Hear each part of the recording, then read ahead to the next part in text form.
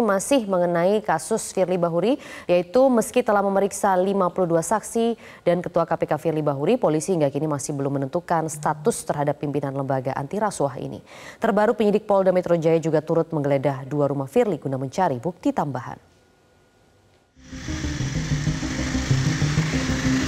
Penyidik di Treskrim Suspolda Metro Jaya menggeledah rumah Firly Bahuri di Kompleks Perumahan Villa Galaksi Bekasi, Jawa Barat dan di kawasan Jalan Kartanegara, Jakarta Selatan.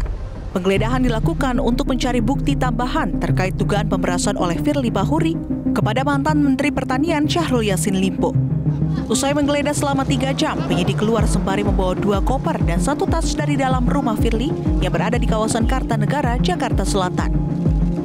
Ya, tentunya perlu diketahui kan masih rangkaian proses penyidikan dan tentunya uh, untuk mencari serta mengumpulkan bukti-bukti ya yang tentunya dengan bukti itu nantinya akan membuat terang tentang dugaan tindak pidana yang sedang ditangani atau terjadi. Meski telah memeriksa 52 orang saksi, penyidik di Treskrim Suspolda Metro Jaya belum menetapkan tersangka dalam kasus dugaan pemerasan oleh Ketua KPK Firly Bahuri terhadap mantan Menteri Pertanian Syahrul Yassin Limpo. Bahkan, Ketua KPK Firly Bahuri pun juga telah menjalani pemeriksaan selama sekitar 10 jam oleh penyidik gabungan dari Subdirektorat Tindak Pidana Korupsi Direktorat Reserse Kriminal Khusus Polda Metro Jaya dan Direktorat Tindak Pidana Korupsi Barreskrim Polri pada Selasa 24 Oktober 2023 lalu. Masih ada tahapan-tahapan penyidikan yang masih harus kita lakukan terkait dengan upaya yang kita lakukan dari di dalam tahap penyidikan ini.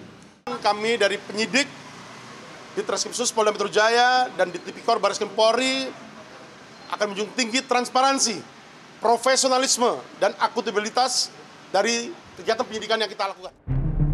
Mantan Ketua KPK Abraham Samad menilai, jika memang benar Firly mengakui adanya pengakuan dirinya dengan mantan Menteri Pertanian Syahrul Yassin Limpo dan dilanjutkan dengan penggeledahan guna mencari barang bukti, maka patut diduga status Firly sudah bisa naik menjadi tersangka.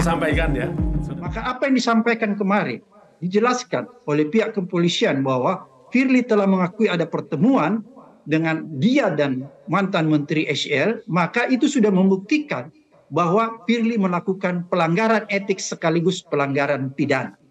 Oleh karena itu, kalau itu yang disampaikan kemarin pihak kepolisian memang sudah begitu konsep ya atau sudah begitu uh, yang terjadi, maka sebenarnya Firly patut atau diduga keras sudah bisa dinyatakan sebagai tersangka.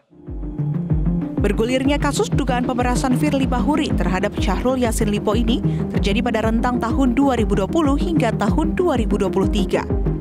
Polda Metro Jaya mengusut dugaan pemerasan ini berdasarkan laporan pengaduan dari masyarakat sejak Agustus lalu. Tim Liputan Metro TV. Jelajahi cara baru mendapatkan informasi. Download Metro TV Extend sekarang.